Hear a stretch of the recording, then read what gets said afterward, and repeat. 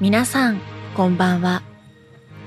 灯火に隠された白く、空の博物館へようこそ。冬の星座、オリオン座。明るい星が多く、比較的見つけやすい星座ではないでしょうか。そんなオリオン座の中央あたりにある三つ星。この三つ星、日本でもとても愛されていた星のようで、地方によっていろいろな呼び名があるようです。今回はその呼び名の一部をご紹介していきます。金月星。これは京都や兵庫で呼ばれていたようです。金月という三つ股に先端が分かれている魚をつくのに用いられている道具の名前です。カラスキ星。これは様々な地域で呼ばれていたようです。田畑を耕すのに用いられたカラスキという道具のことです。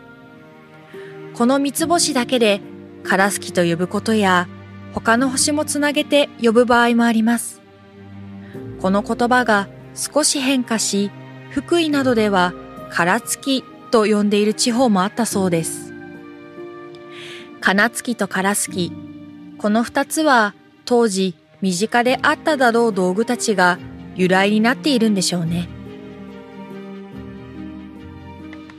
他にも三つの団子というのは昔から定番だったんでしょうか。均等に並んでいる様子から富山のあたりでは団子星、兵庫ではみたらし星とも呼ばれていたという話があります。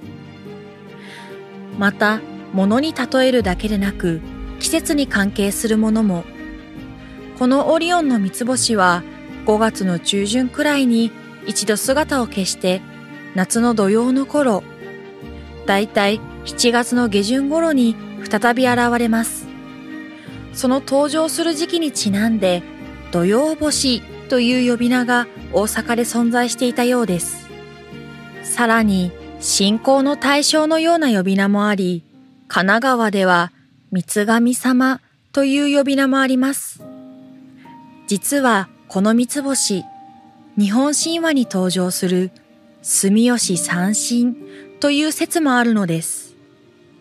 黄泉の国から帰ってきたイザナギの狼が汚れを清めるためにつくしのひむかの立花の尾戸の淡木原でみそぎを行ったとき、皆そこから底筒のおのみこと、中筒のおのみこと、上筒のおのみことという神様が生まれ出てきます。この三神が住吉三神で、公開の守り神とされています。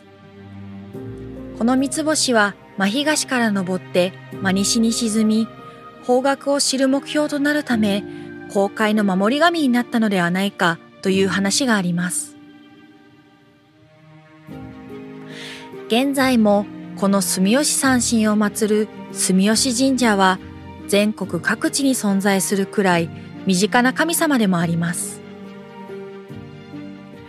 ここでは紹介しきれないほど日本国内だけでもたくさんの呼び名が存在している三つ星皆さんはこの三つ星何に見えますか？さて、本日の博物館はこれにて閉館です。それではどうぞ素敵な天体観測をお楽しみください。またのご来館お待ちしております。